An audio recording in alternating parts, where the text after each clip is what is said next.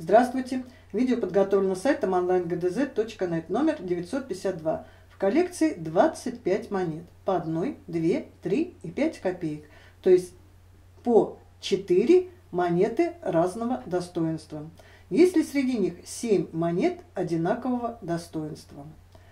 Если бы было 6 монет одинакового достоинства, а всего 4 разных монет, то было бы 6 умножить на 4, всего бы было 24 монеты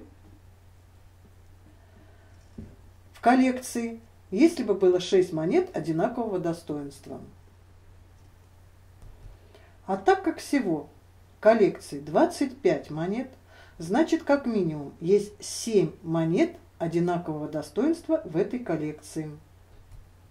Мы ответили на вопрос задачи. Если у вас есть вопросы или пожелания, то оставляйте свои комментарии под видео.